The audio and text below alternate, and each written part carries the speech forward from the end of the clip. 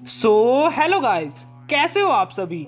तो जैसा कि आपको पता ही है, आजकल हम Ben ten ultimate alien series के लास्ट एपिसोड्स की ओर बढ़ रहे हैं। बढ़ना क्या है? आज हम उस एपिसोड तक पहुँच गए हैं, पर इस एपिसोड को शुरू करने से पहले, इसके शुरुआती दो पार्ट्स और है, जिससे इस एपिसोड की स्टोरी पूरी होती है। तो पहले उन्हें जाकर देख लो। दोनों एपिसोड का लिंक डिस्क्रिप्शन में है। फिर भी उन दो एपिसोडों को मैं शॉर्ट में समझा देता हूँ। तो जैसा कि पिछले एपिसोडों में हमने देखा, सबको ये पता चल जाता है कि डाइगन सील से बाहर आने वाला है। तो बैन और जॉर्ज सील वाली गुफा की ओर जाते हैं, जहाँ डाइगन खुद बाहर नहीं आ सकता था, क्योंकि किसी ना किसी को बाहर से सील तोड़नी थी। तो डाइगन अपने नए गुलाम विलगैक्स को बाहर भेजता है, जो बैन और जॉर्ज से लड़ने लगता है, और सील को बाहर से तोड़ने लगता है। पर विलगैक्स सील को नहीं तोड़ पाता, जिससे डाइगन विलगैक्स को बोलता है तुमसे ना हो पाएगा। कहकर ग्वेन को अपने वश में कर लेता है। ग्वेन सील को तोड़ने लगती है। पर केविन ग्वेन पर अपने शरीर का मेटल उसके शरीर पर चढ़ाकर डाइगन का कंट्रोल तोड़ देता है। पर तब तक सील टूट गई थी और डाइगन बाहर आ गया था और विलगैक्स का चेला साइफन भी यहाँ पहुँच गया था। अब आगे। तो इस एपिसोड की शुरुआत में हम देखते हैं। डाइगन सभी को बता रहा था। ताकत देखो और डरो। अपनी बकवास बंद करो।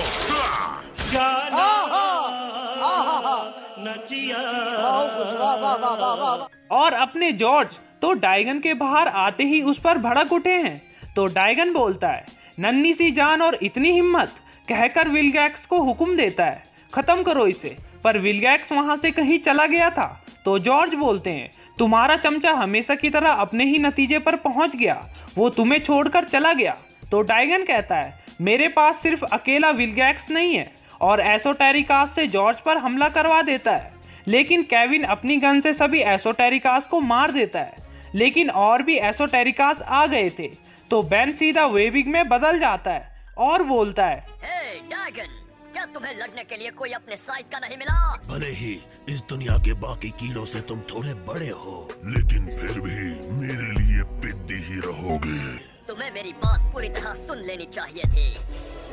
अल्टीमेट वे ये कुछ नया है। डाइगन जो आसमान में रहकर अपने आप को ज़्यादा समझ रहा था।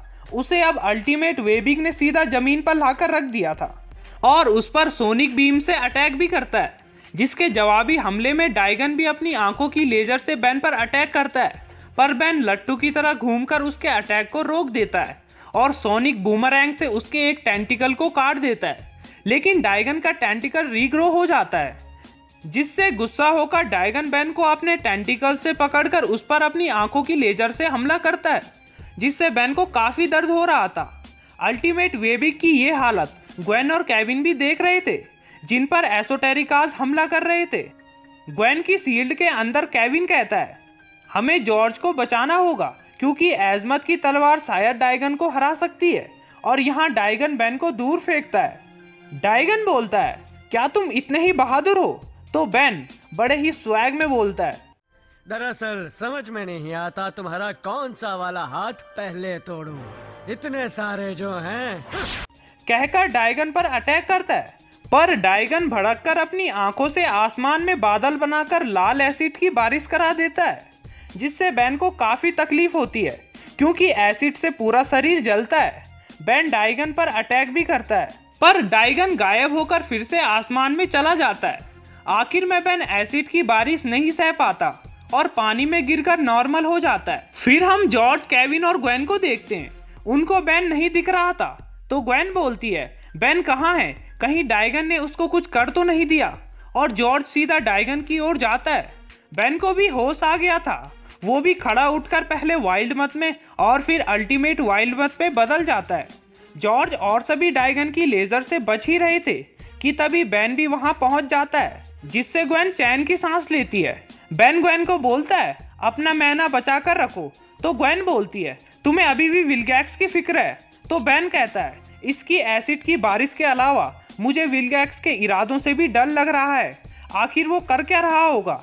नाम लिया और विलगैक्स हमें दिखाया गया। असल में विलगैक्स साइफन से एक मशीन बनवा रहा था। इस मशीन के बारे में हमें आगे पता चलेगा। और यहाँ डाइगन की लेजर जॉर्ज पर लगने ही वाली थी। लेकिन तभी क्रोमस्टोन आकर डाइगन की लेजर को एब्जॉर्ब कर लेता है और जॉर्ज और क्रोमस्टोन दोनों मिलकर डाइगन पर एक के बाद एक अटैक करने लगते हैं। तो क्रोमस्टोन कहता है, अब मेरी पावर खत्म। ग्वेन कहती है, नहीं, तुम कितनी पावर एब्जॉर्ब कर सकते हो? क्रोमस्टोन कहता है, बहुत सारी, लेकिन क्यों?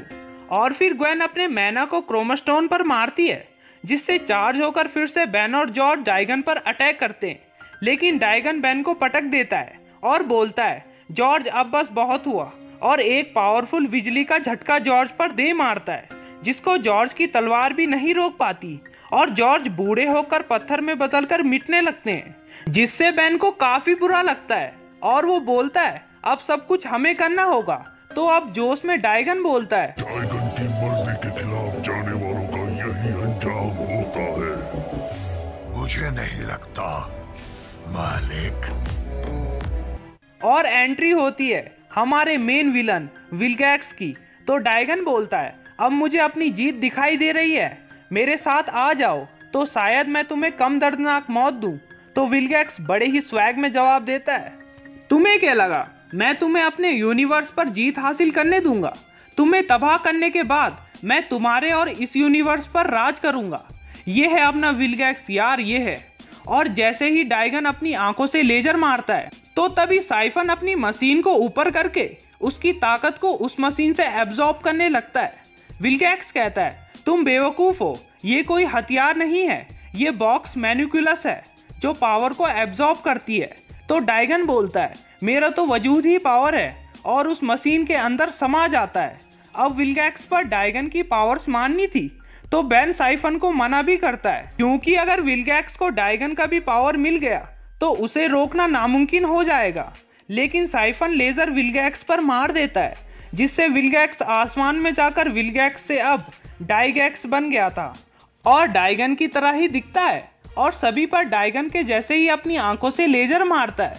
लेकिन उतने में ग्वेन उन सभी को साउथ डेकोटा के पुराने प्लम्बर बेस में टेलीपोर्ट कर देती है। वो सभी थोड़ी देर के लिए चैन की सांस ले ही रहे थे, कि तभी विलगैक्स प्लम्बर बेस के ऊपर आकर अपनी एसोटेरिकास की सेना से प्लम्बर बेस पर हमला करवा देता है।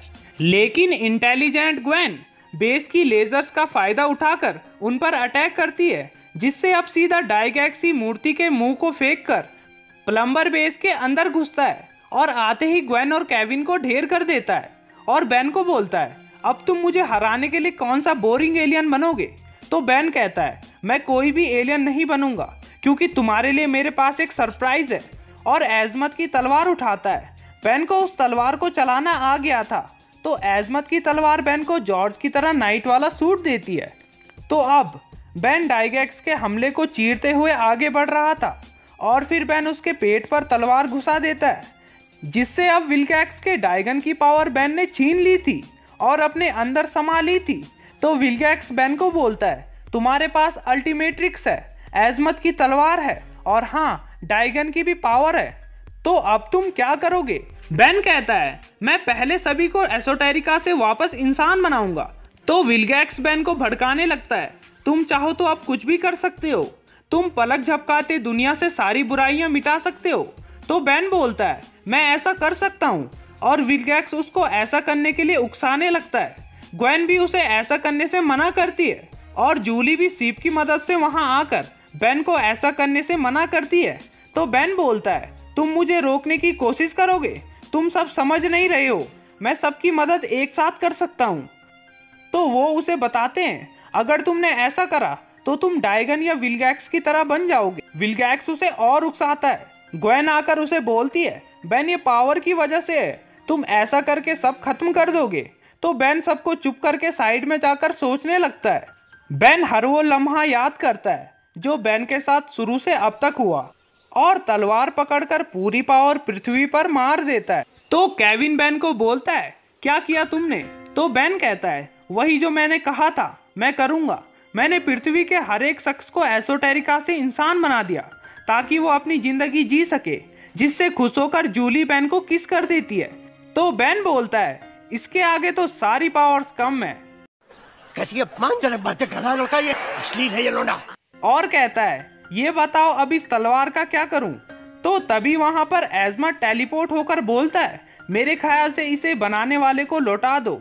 और तलवार को गायब कर देता है। और बैन को अल्टीमेट्रिक्स भी लौटाने को बोलता है जिससे बैन बोलता है एजमत मैंने अपनी काबिलियत साबित कर तो ली। तो एजमत बोलते हैं तुमने अपनी काबिलियत तो साबित कर ली, पर यह नकली कॉपी तुम्हारे लायक नहीं है।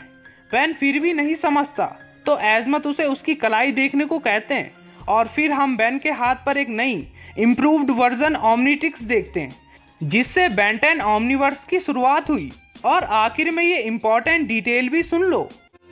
मुझे नहीं लगता आप मुझे वो मास्टर कंट्रोल देना चाहेंगे, है ना? वो मैं शायद तुम्हारे 18th बर्थडे पर दूँगा। और इसी के साथ अल्टीमेट एलियन सीरीज़ पूरी तरह से एंड हो जाती है। मैं आशा करता हूँ आपको ये एंडिंग अच्छी लगी होगी। और आप वीडियो को लाइक और चैनल को सब्सक्राइब ज़रूर करोगे। मैं आपको मिलूँगा अगली धमाकेदार वीडियो के साथ। तो तब तक के लिए बाय